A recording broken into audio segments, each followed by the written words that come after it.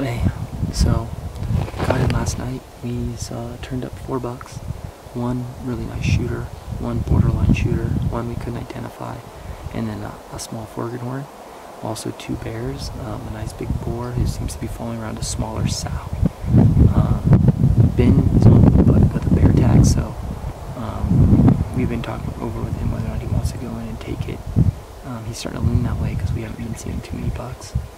This morning, opening morning, there was three hunters up on the ridge. Two of them were talking super loud, so um, the deer that were over on like that side of the bull all blew out, and like those were snorting and everything.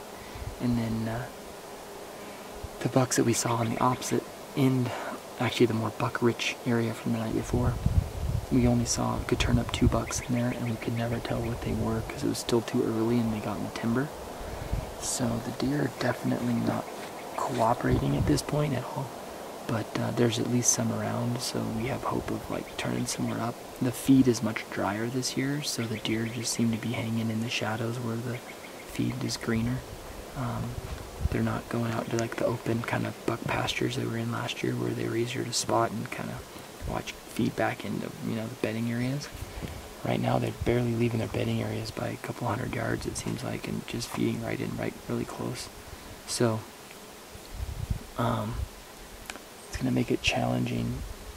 Um, it's because it's going to be tough to ambush them. You can't set up like an afternoon ambush because they're not going to. You're going to be too close to their bed, you know, if the wind's swirly. And the wind's been every direction this whole time, so we'll see. We'll see what, you know, what it's going to take to get a good opportunity, but, um, yeah, we're happy to be here. It's beautiful. It's going to go move camp down to the bottom and be closer to where we've been seeing the deers and the deer and the bear and uh,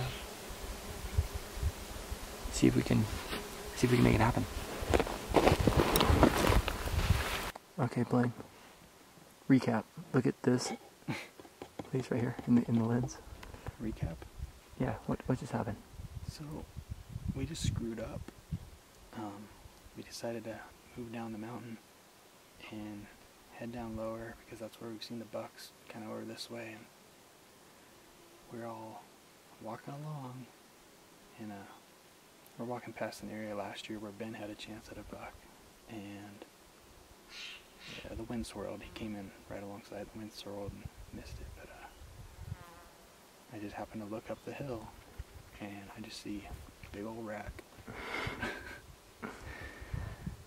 and uh, Yeah. we just they were still right, bedded down Right there. That tree. Yeah, they were still bedded down, so we, we attempted to back out, but it was too late. And uh, they ran away. There's there was a nice, you know, probably 19 inch wide, three by three. We're not real positive on if it had more than that, but uh, didn't get a good look. And then another medium buck. I'm not sure how many points, and a smaller spindly fork, and then a doe. And uh, we tried to I tried to flank them, go up and around and cut them off, but they kind of side hilled and went out in some other timber. So now we're back to the drawing board. Almost can't see him anymore. I know we gotta move.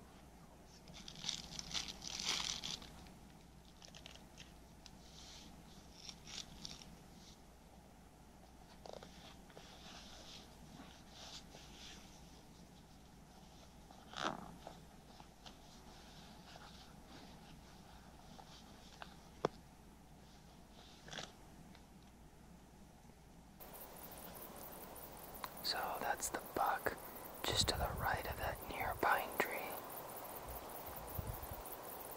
He's right at the base of that tree. He's nice 3 by 4 Been watching him all day, but Brad Blaine was doing a stalk on a forked horn that I think might have morphed into a stalk on the 3 by 4 I don't know how it's. He walked out, that's when he like looked up the hill, and I just was like froze like this, just like there's a tree, he couldn't see me, and then uh, he walked past this other tree, just a little one, and then he got past that, and he kind of looked straight ahead, and I drew, and shot. Did he look at you when you shot, or was he just still looking He for it? He'd heard it though, and he, he did kind of jump for a bit, That's awesome, dude. but it still did the job. Well, you set the bar kind of high for Ben and I. Yeah. Buck just hung out and we got him on video. It's kind of not the best video. A little shaky, but we got him. Should be down right in here. The arrow didn't penetrate great, but it looked like it just smoked him like right okay. freaking boy So Nice, dude. Good shot. Good shot.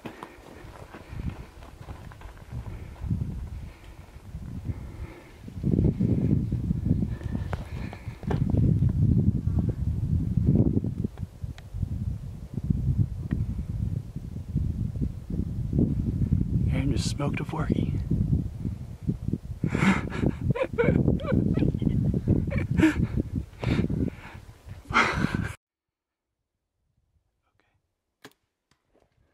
Nice, dude. Good shot. Got a nice wilderness buck, little blacktail here. Beautiful. Put meat in the freezer. Got to head to Oregon on uh, Thursday or Friday. Probably Thursday now if I get out here a little early. Yeah, we're sort of like running out of water and stuff. So lane's refilling. I think I'm gonna like dunk, yeah, my head in there. Hey, don't stir it up before you get your water. Lane. It's like a child. What a trip this ended up being. Three days, two bucks. Uh, we just realized that when we parted ways with Ben, I had the extra propane or gas fuel tank for his stove, and it's still in my backpack. So tonight he is going to be improvising with fire or something to feed himself. Feel bad about that. Of course, he's probably just happy to not have any extra weight.